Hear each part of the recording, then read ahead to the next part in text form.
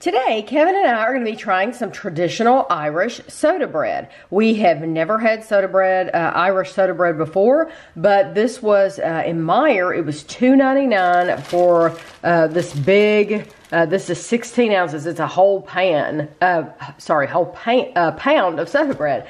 so what you want to do? It does not have any instructions on it whatsoever.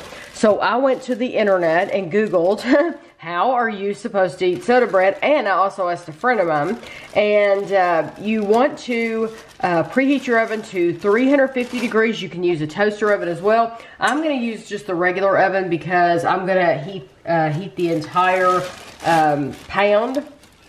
But you want to uh, move it over and you want to heat it uh, bake it in the oven for seven to eight minutes. So we're gonna put this in the oven and then we'll be back. So this was in the oven for seven minutes and I'm gonna move it. It's gonna be hot. There we go.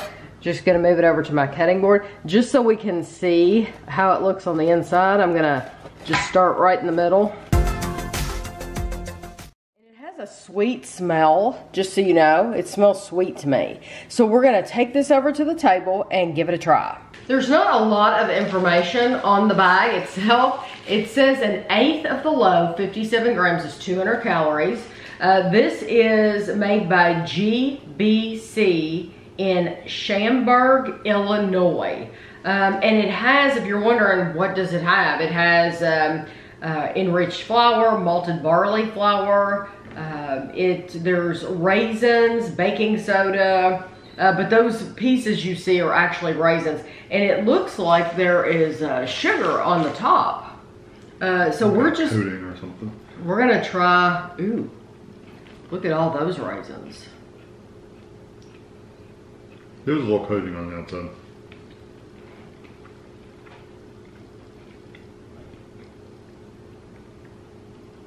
I like the flavor of it. It's sweet. Mm -hmm. see what the kind of the bread part tastes like. And I want to get the crust. That's what I eat first. It's a denser texture than like traditional like white bread. You know what though? You could easily sit here and eat this whole thing. Mm-hmm. Or at least Kevin and I could because we really like bread. I love bread.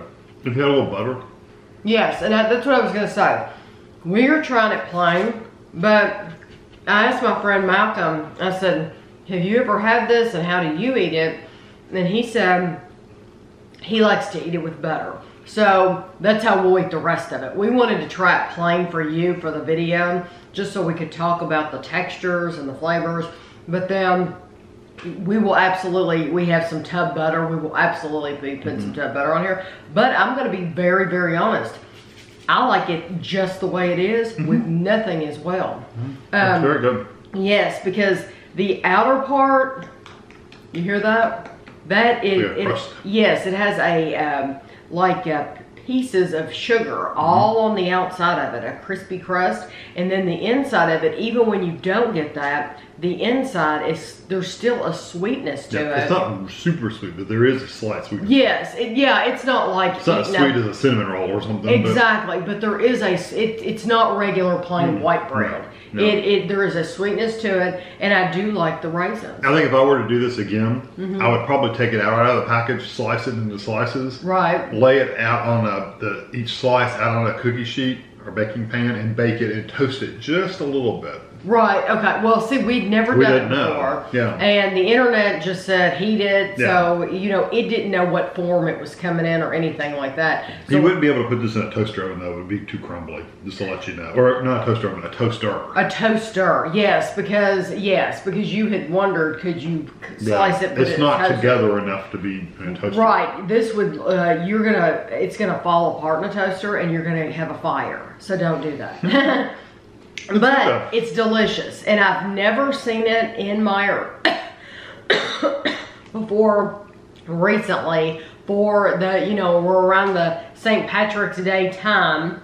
And so we've never seen it before. So I hope you can find it in your area. If you've had it before, let us know how you eat it. And thanks for watching.